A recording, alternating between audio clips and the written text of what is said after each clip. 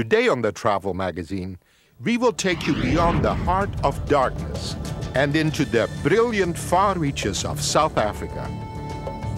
On this mysterious journey, we will introduce you to an ancient world where one of Africa's oldest tribes embodies the true meaning of tradition. Amongst the rugged beauty of the Cederberg Mountains, 250 kilometers north of Cape Town in South Africa lies Kagga Kamma. Amongst these hills, dunes, and in the desert lives a tribe of Bushmen who are willing to share some of their traditions with us. Hi, I'm Jake de Boer. And I'm Mieke de Boer, and welcome to Kagga Kamma, the place of the Bushmen.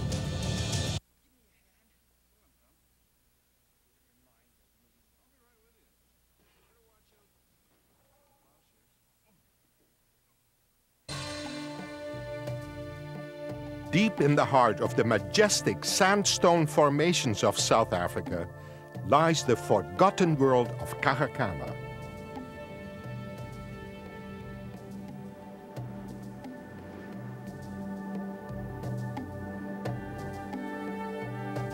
The area is almost uninhabited, yet this is where one of the most ancient tribes lives today. Long before the first settlers arrived in the area, the origin of the Bushmen is a mystery lost in the past. Nobody knows where they come from. And we do know that they might be one of the oldest people in southern Africa.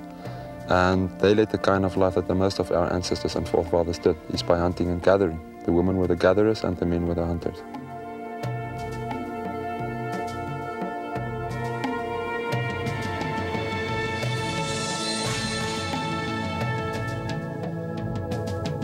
More than 20,000 years ago, long before the first settlers arrived in the area, Kagga Kamma was home to the Bushmen.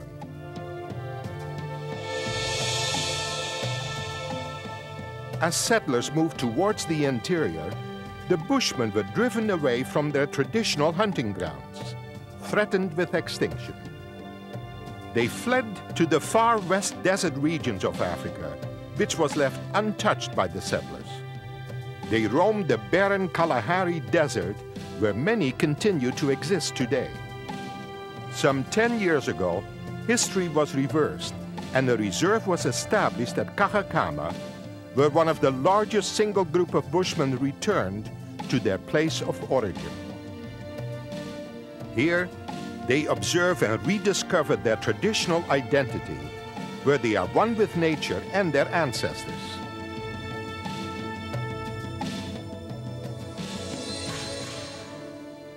Tell me about the Bushmen as trackers. They are the best trackers in the world. Um, that's clearly visible. Uh, in such a state that the South African Defence Force employed them some years ago, especially because of their excellent tracking abilities.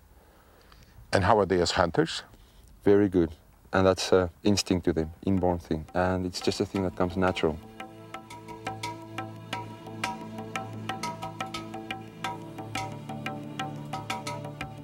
The nomadic existence of the Bushmen did not allow them to keep livestock, such as sheep or cattle. Instead, they relied completely on the natural habitat of their territory.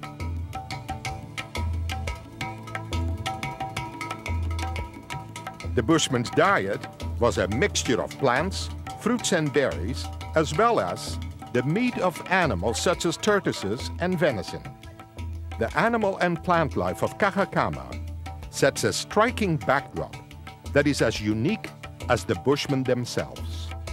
Bushmen are a reserved and gentle people, living in harmony with one another and nature. They lived in caves, beneath ledges of rock, or in small thatched huts made of grass. At Kagga Kamma, we are privileged to gather at a meeting place designated by the Bushmen themselves to witness the harmony of a people historically dependent on one another in their daily struggle for survival.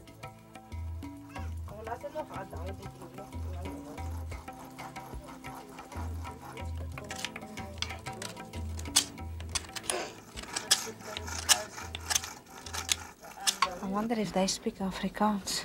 They may speak Afrikaans. Praat julle Afrikaans? Praat julle?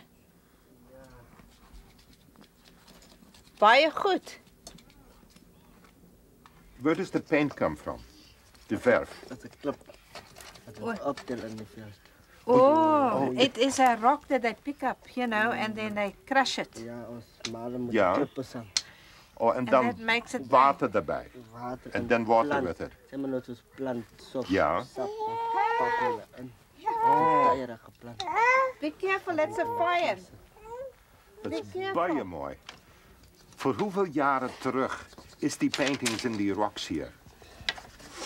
Dat is zeker zo een stuk van 20.000 jaar. 20,000 years, 20,000 years ago. You think the rock paintings are 20,000 years old? Ja. And those are your forefathers. That is jouw voorvaders. Ja, dat is voorvader. Hij heeft gelopen. Van het zo getekend. En kijk, ons, ons was maar nog kinders geweest en toen ons maar ook geleerd bij de andere grote mensen. Ja. Dat ons kan die weet, Ja. als ons weer in die omgeving naar ons weet wat om wat op te tellen en Ja. zo. Hoe is het om hier te wonen in Kachakama? What is it like to live here? Hier zo, Ja. Is die inkomsten een beetje makkelijk. Oh, Ja. Met die goed. ja. En het is koud. Het is bijna koud. Baie koud. It gets hè? very cold. En de Kalahari is lekker warm. The Kalahari is warmer, huh? En hier is die jaagproces is zwak. Ja. Dat is klippen wat ons krijgen. Ons hier lekker jagen. Want in de Kalahari, daar komt dat nog net zandduinen. Oh, in the Kalahari, just sand Sand. dunes. So you like that better? Dus You're- natuurlijk een beetje beter daar. And you are the people of the sand, hè? Ja. Jullie is die mensen van die zand. Ja, en hier is nu klippen. Dat is Klippen. nou een spoor wat ons wat er bij je ver dan moeten we hem lopen.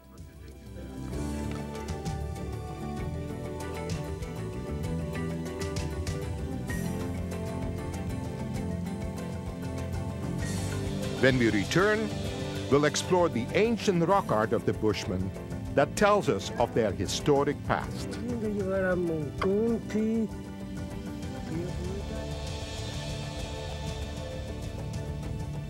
We will go on a spectacular hunt with the Bushmen.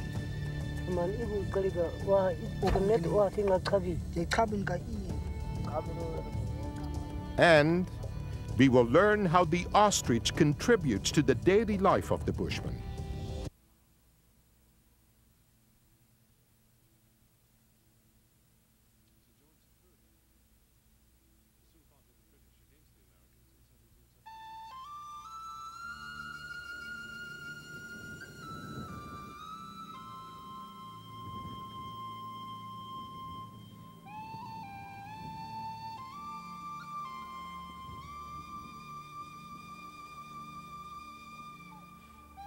Throughout Kagga Kamma, various rock paintings adorn the walls of caves and boulders.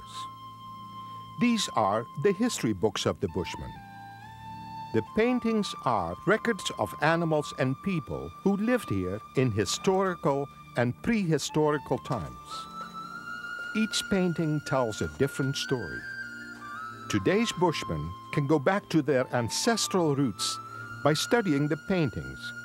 Many depict ancient religious beliefs and practices.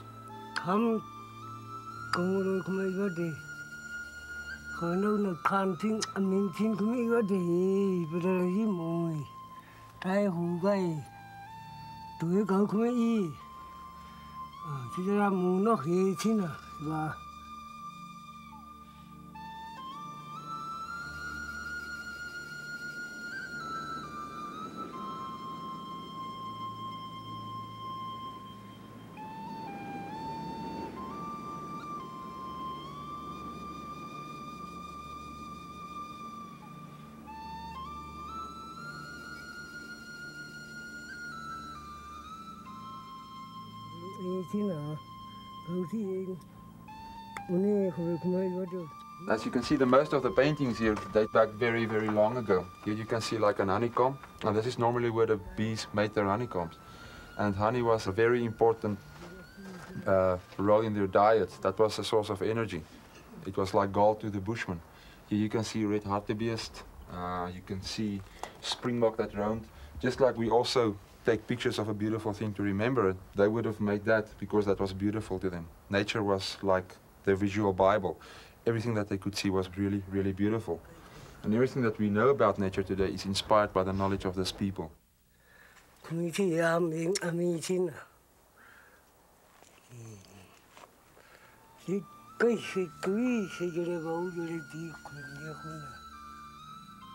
Perhaps nothing is more innate to the bushman than to hunt.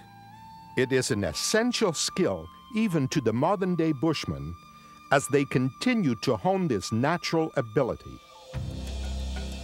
In 1990, game was reintroduced and a fair trade was established.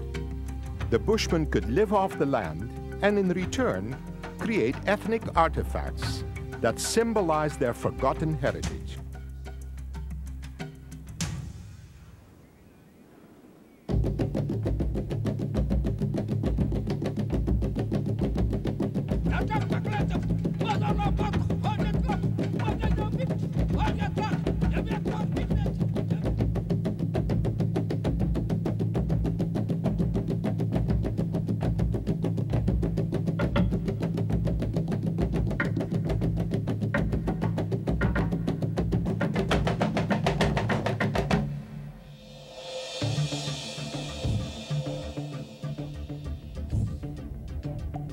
The Bushmen have an intrinsic relationship with another of Africa's unique symbols, the ostrich. Ostrich eggs were essential for survival while they were hunting. They collected the eggs, pierced holes in them, and ate the yolk for nourishment. Afterwards, they would fill the shell with water and bury it in the sand to keep the water cool. They take from nature only what they need to survive with the utmost respect for the land. Later, we'll encounter some ostriches up close and learn more about these large indigenous birds.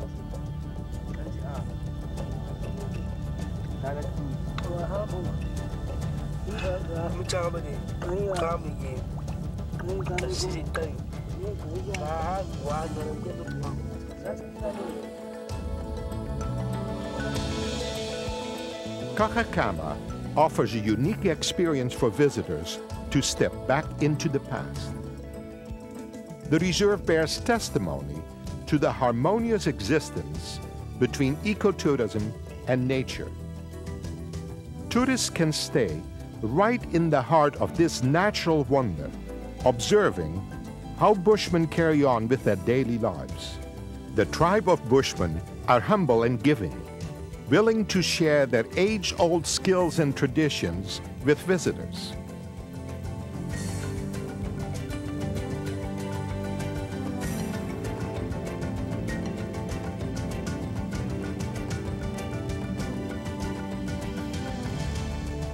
The Kagga Kamma Reserve has created a traditional environment and lifestyle in which the Bushmen are completely self-sufficient. It has become a reserve of traditions that embodies harmony, community spirit, and natural wonder. Here they live without fear of ever being displaced again.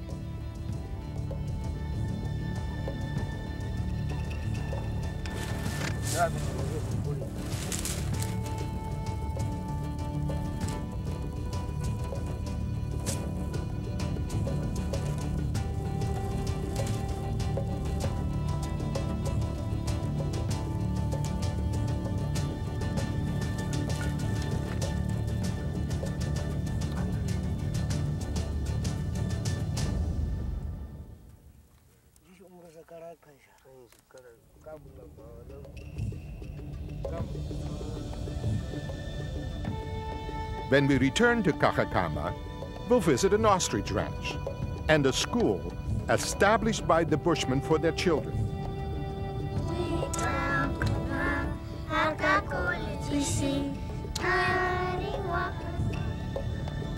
We will be back with more of the travel magazine just after this, so stay with us.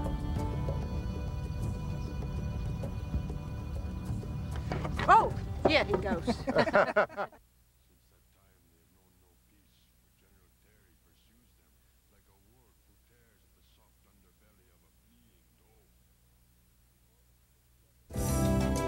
In order to keep their traditions alive, an education system has been brought into the reserve for the children.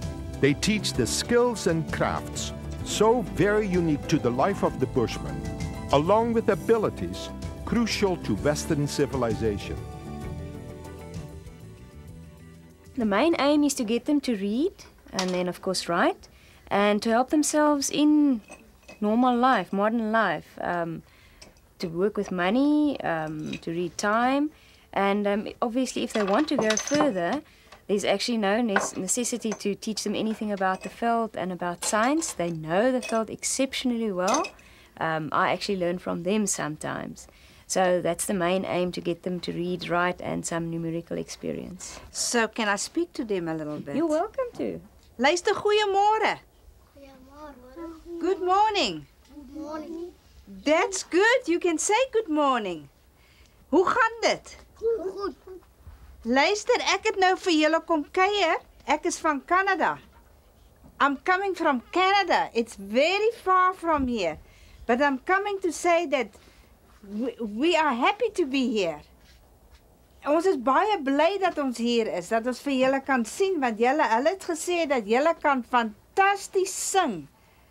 Kan julle sing? Ja. Kan julle vir my 'n liedjie sing? Ja. Can you sing me a song because I've heard that you are great singers. Yes. Good. Sing me a song. Witanguna akakolotisi ariwa ariwa ariwa ariwa ariwa ariwa Witanguna akakolotisi Witanguna akakolotisi Witanguna Karapisi. Ek kan dit ook amper sing. Dis baie mooi. En dit is hoe hulle tel 1 2 3 4 5 6 in die Khoinama taal. Let's do that. Tell me count to 6. Tel vir my vir tot 6. Ek kan nie hoor nie. 1, 2, 3, 4, 5, 6. I must say that this is a real experience and I want to really thank you very much. That's a pleasure. Bye. Bye. Bye. See you Bye. again. See you.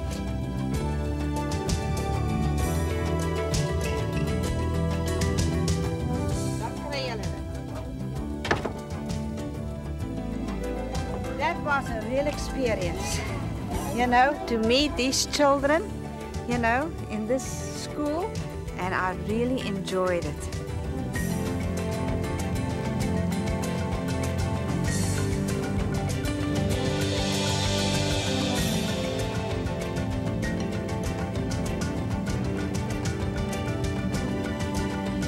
Given the historical relationship between the Bushmen and ostriches, we traveled 350 kilometers southwest to Cape Town, to the West Coast Ostrich Ranch.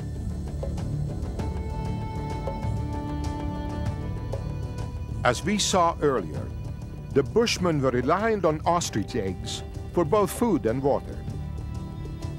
The eggs also had an ornamental importance. The tribes would carve designs onto the eggshells and break the shells into beads to make necklaces. Isn't it amazing It's to am- stand on an egg like this? Well, two eggs. Two eggs. If we go back six to seven million years ago, they were found in the middle mere, where the dinosaurs were. Because they are part bird, part dinosaur. Really? Yeah. Um, the first ostriches sighted in the latest century was up in Egypt, north of Africa. Okay? Then they migrated down southwards. I mean, the first ostrich farm was actually here in Cape Town, not in Oudtshoorn. Everybody believes ostriches come from Oudtshoorn. They don't. Now, if you have a good look, you'll see we have a special feed for the babies. It's very similar to what we give the adults, except that it's been ground very, very fine. Because, of course, ostriches have no teeth and no crop. So everything they swallow goes straight to the stomach. So they need to eat pebbles or small stones for that digestive oh. system to work. An adult ostrich has approximately one and a half to two kilos of pebbles in his stomach at all times. That's his digestive system. As he runs and walks, as this shakes up, it grinds their food. And of course, we supplement it a bit in this in this case with a bit of extra calcium, Yeah. and a bit of extra protein, mm-hmm. just to strengthen the bird, especially the babies. You'll notice they all look very much the same in color. Ja. They will change color after 12 months. After 12 months lifespan, the black feathers of the male start developing, and only then do we know whether it's male or female. We don't need to know it before the time because they're only breeding ready at 16 months. Yeah. In other words, they only take partners at 16 months.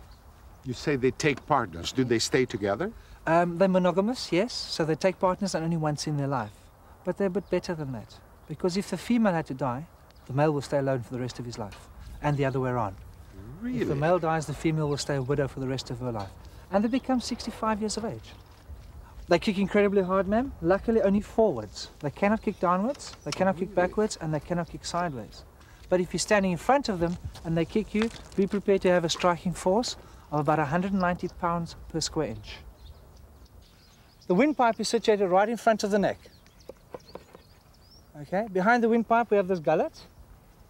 All right. Now, a self-defense mechanism built into the ostrich is that this windpipe is completely movable. You can take it and swing it around the neck. What about the other way around? Why do they have that? Well, if you think about it, with their striking force of kicking, when they fight, they try and snap each other's necks. The windpipe will move out the way so they can't sever the windpipe, and the neck is incredibly flexible. So it's a self-defense mechanism. What happens when kicks, the windpipe moves out the way, and the neck simply bends. And it can bend left, right, backwards, forwards, it makes no difference. Our magical journey has come to an end, but the mystical heritage of the South African Bushman will remain with us forever. Well, that's it for this edition of the Travel Magazine. Join us again as we travel the world. Vat jullie nog meer van die? Vat jullie nog? Ja, ons wil nog. Ik wil meer toemaken. Oh, baie goed. Ons blij hier, hè? Ons blij hier. Okay, Now that's very interesting. They are very greedy. Well, you give anybody chocolates, they're not going to say no. Jake, Did you see that? I had my hand flat and he took my finger. Take your hands away. and Open his feathers a bit. There you go. Huh? There's folies de bouger. okay. Like to hold the neck there, please? I'll hold the neck. And don't strangle it. Don't strangle it now, please. We came over the mountain range there. And you know what, what happened? We came down this road, well, path, and there was a T junction, and we should have turned left. We turned right, we went down this way, and now we, I think, are about here. And frankly, I haven't got a clue where we. Are